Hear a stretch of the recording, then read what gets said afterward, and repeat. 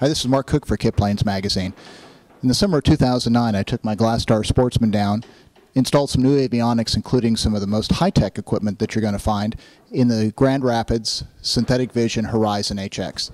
It's a pretty cool instrument. I'd like to take you on a little video tour, see what it's like to uh, to fly behind this instrument.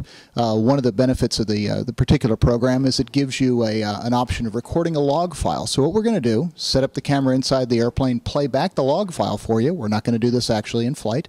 You get to see what the screen looks like as you're navigating airspace and shooting an actual approach. Let's take a look.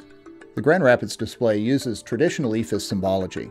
We have the altitude tape on the right, the airspeed tape on the left, heading tape across the top, and various other info boxes arrayed along the bottom. The number 1921 under the flight path marker is actually our height above the touchdown zone for the synthetic approach. This is what it looks like without the synthetic vision invoked. Still a nice display, but obviously it uh, lacks a little bit of the, the eye candy of the synthetic. Here we're back to a split screen display with the moving map on the right and the attitude indicator on the left. One of the other options is to hook up a traditional HSI on the right-hand side, which we'll see here in a second. It has a, a declutter feature, which will help you take down all of the uh, uh, intersections that are part of the approach here. As we continue down the approach to Torrance's runway 29 right, you can see the magenta highway in the sky boxes just up there on the horizon. We're level at 2,000 feet and we're making our turn toward the final approach fix. As you can see, the uh, ILS lateral marker is full scale right. We've moved along the approach just a little bit. Uh, as you can see, the highway and the sky markers are still just a little bit and above to our right, uh, and the ILS lateral, the localizer signal, is just starting to come in.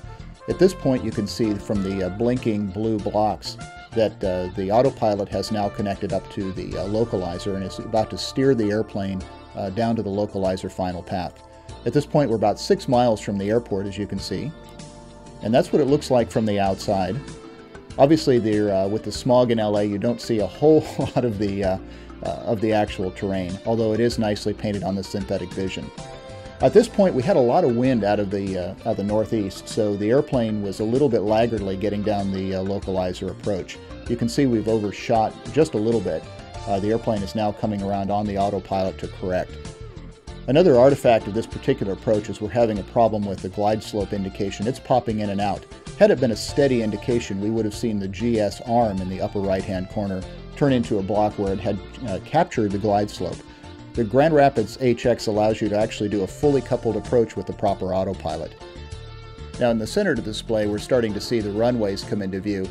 They're actually aligned just as they are in the real world, as you can see from this particular shot. It's a little hazy today, but uh, you know it's typical for Southern California. Back inside the cockpit, we can see we're just above the glide slope, and we're uh, uh, making our way down and to the right into the highway in the sky boxes. The flight path marker is red because it's off scale a little bit. We have a fair amount of wind out of the uh, northeast now.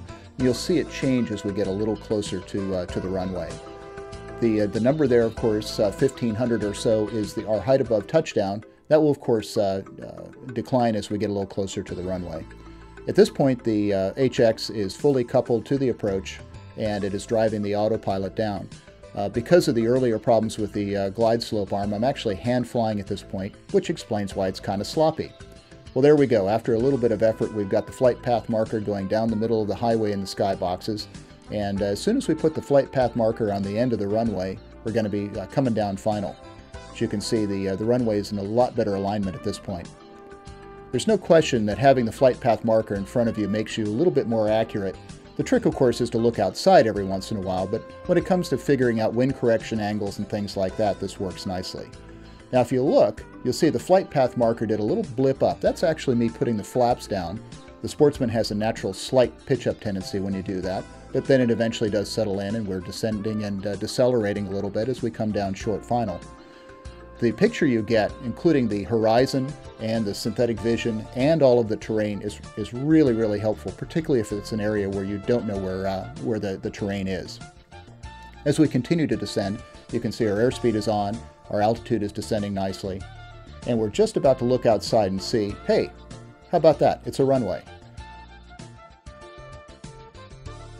Grand Rapids HX also has an obstruction database. We're going to see a warning about an obstacle right there. I have no idea what it is in the database. It happens every time I land on this runway, and I haven't managed to hit it yet. So now the end of our flight is near. We're just about to flare for the landing. The uh, synthetic runway is right where the real runway is, which is kind of the promise of synthetic vision in the, in the beginning. So that's been what it's like to fly with the Grand Rapids HX. Hope you enjoyed it.